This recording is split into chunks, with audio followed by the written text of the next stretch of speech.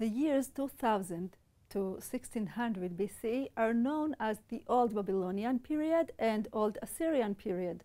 These terms denote the main languages in which Mesopotamian documents were written during this period.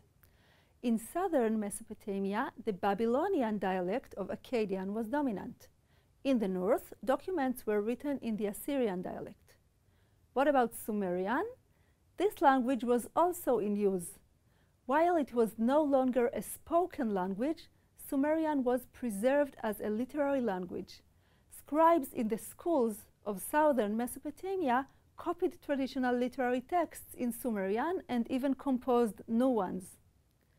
From a political aspect, this period was characterized by a decentralization of the ruling authority.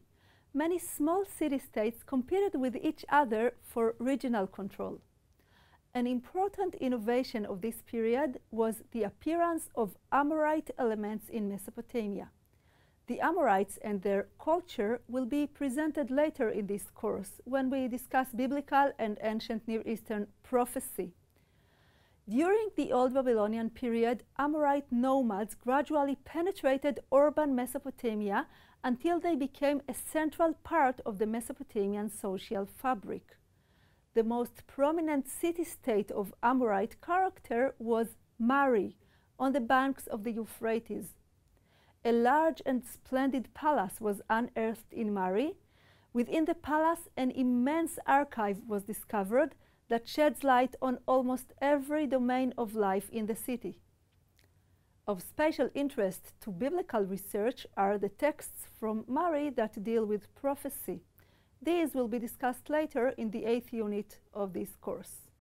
Other prominent city-states during this period were the rival cities Isin, Larsa, and Eshnunna.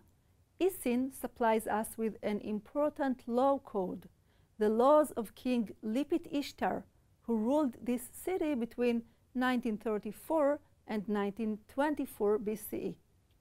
This law code will be discussed in the lesson on law in the Bible and the ancient Near East. The Old Assyrian dialect, which we mentioned before, was spoken mainly in the city of Ashur.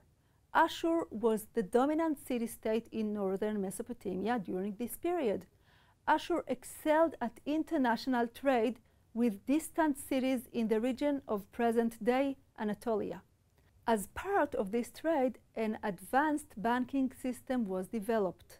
Many old Assyrian texts tell us the story of the traders and the bankers and their sophisticated business relations. Turning back to southern Mesopotamia, here the city of Babylon also struggled for regional hegemony. Babylon, like many of its neighbors, was ruled by an Amorite royal dynasty. The city was involved in a constant struggle with other city-states such as Mari that included alliances and counter-alliances. The king who put an end to this battle of small regional forces was the famous Hammurabi. Hammurabi ruled the city-state of Babylon.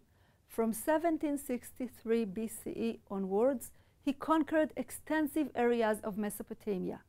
Gradually, he added the territories of Larsa, Eshnunna, Assyria, and Mari to Babylon. Eventually, he transformed the small city-state of Babylon into the largest kingdom of the Old Babylonian period. Hammurabi's most famous achievement was his law code. This law code is considered one of the foundation stones of comparative research of the Bible and the ancient Near East. This topic will be discussed later in this course. The golden age of Babylon did not last long. Shortly after Hammurabi's death, Babylon began declining in power. Its ultimate destruction at the hands of the Hittites occurred in 1595 BCE. This defeat marks the end of the Old Babylonian period.